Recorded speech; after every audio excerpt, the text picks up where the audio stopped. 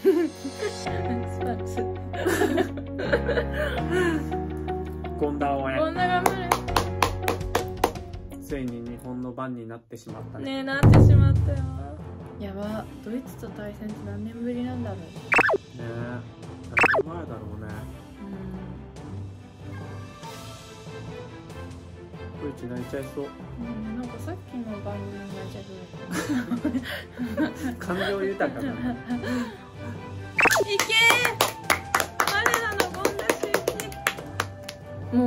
もうここなんてさもうほぼバイエルンなんだけど。うん。一人以外バイエルンだよ。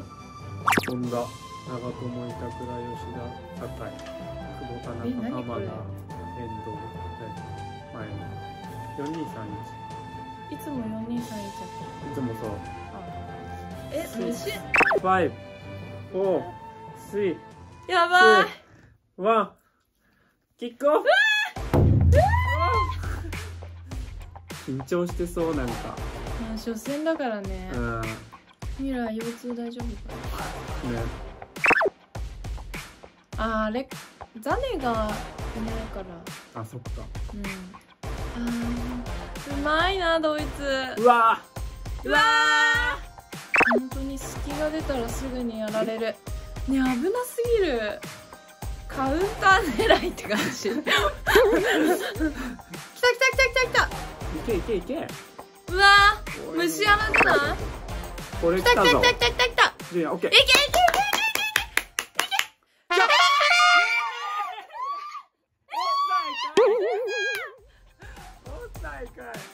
えー、勢い余りすぎ本当。うけ今日ドイツに勝てるとしたらこういう攻め方なんだわ。ーうわー怖い。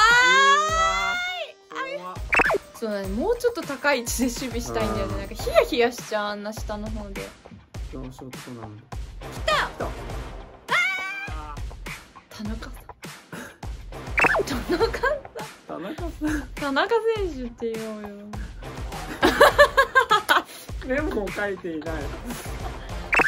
メモを書いていない。すごいねねちょっと12人目のメンバーで本田行ってきてくんない。かなえー、えー、ここのこと？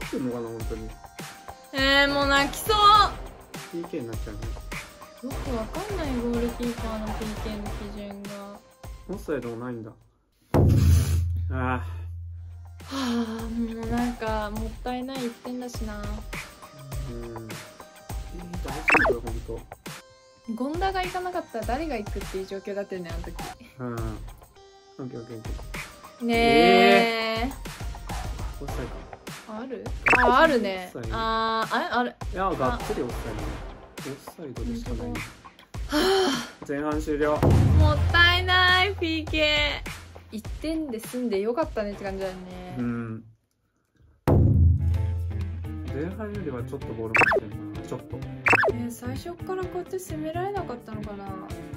せめて引き分けでしょ世界って厳しなんか自ら厳しくしてる感がすごいねいいや自ら厳しくしてしまって前半45分でもやっぱ3バックの方がいいんだろうなと思ってうん危ない本当涙出そう。ねちょっとゴンダ様々でしょね。一仕事したねとりあえず。いやもう8仕事ぐらいしたよ。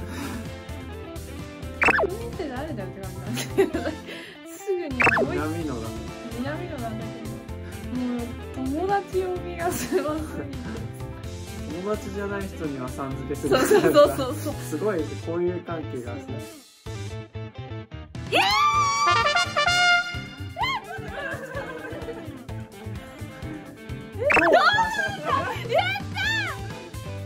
まだあるぞやば。ないよねオフサイドとかないと思うこれは。確実だった。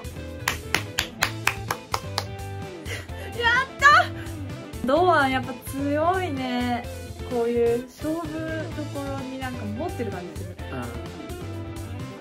うんおお来た。いけ。え入った。え？入った。ゲボです。やっぱり浅野だ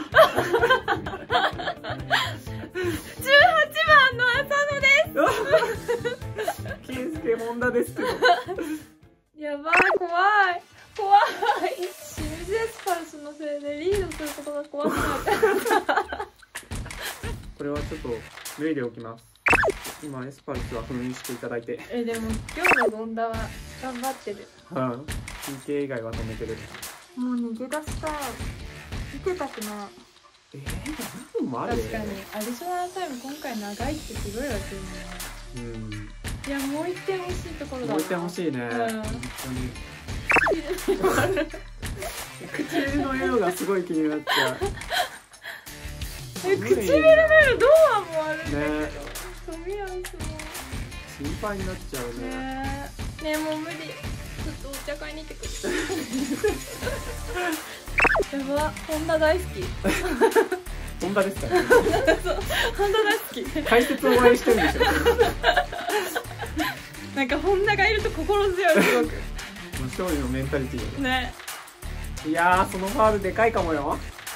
ラストワンプレーえっと初戦でノイアー上がってきた。よし。まだまだまだオッケー。ナイスもんだ。簡単無理。終われ。よし終わった。よし。これ終わりっしょ。よ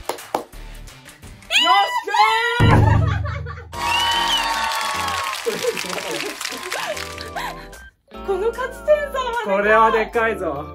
スペインにも勝ちたいね。よっしゃー。いやーよかった。ゴンダも PK 以外失点ゼロだよ。ね。うんえ今日の MVP はゴンダとアサンと堂安だよねうわーゴンダのこんな笑顔さ久しぶりに見た。やば。アルゼンチンレベルのさアルゼンチンとサウジアラビアレベルのさだね。番狂わせだ。うん。これは。本当に何が起きるかわかんないね。やばいもう吐きそう。日本見事勝ちました。逆転勝利。まさかの。ブンデス勢だったね。うん。やっぱりやっぱりな。やっぱりな。我らの権田修一選手も大活躍でした。ねよかったね。次コスタリカってのもさよくない？スペインよりさ。うんそうだね。ねここで勝ち切って大手もう決まるの大うん決まるのかな？ほぼ決定手ほぼ決定だよね。多分ヨーロッパのさサッカースタイルとさ多分違うじゃん。うん。次。戦いづらさあるよねそうあるある、今日の試合を見てるとやっぱ最後まで諦めない気持ちが大事ということで。ね。ね。アディショナルタイムも被弾しなくてよかったです。よかった。ですパラサップ抜きました。そのゴンダのファインセーブっていうか、うんうんね、ゴンダに助けられた。そう。中3日休んでコスタリカ戦に備えましょはい。バイバイ。うバイバイ。頑張れ日本